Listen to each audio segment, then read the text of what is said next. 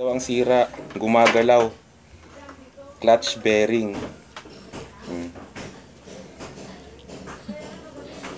So, pupunta ako ng Caloocan, papalitan daw siya. Ipaayos dun sa Caloocan, sabi ng mekaniko, dahil wala siyang powers para ayusin. Okay. Galing ako ng Caloocan, pinaayos ko sa isang machine shop dun sa 10th Avenue. Ayan na, wala na siyang galaw.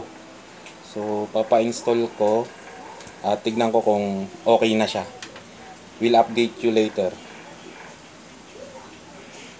Namin yung ah, clutch na pinagawa ko sa Caloocan pero ganun pa rin. Hindi siya hindi nawala yung tunog, hindi nawala yung ah, vibration niya pag umaanda. So guys, hindi yun ang dahilan. Sabi sa akin sa Honda baka yung ano ah, main shaft bearing. So ang labor daw nun is 1.2 plus 150 plus na bearing. Kaya lang ayoko na ng bearing nila na yun kasi yun yung stock eh. Baka masira lang uli. Hanap ako ng mas magandang bearing. So yun ang update guys. Hindi yun nasira.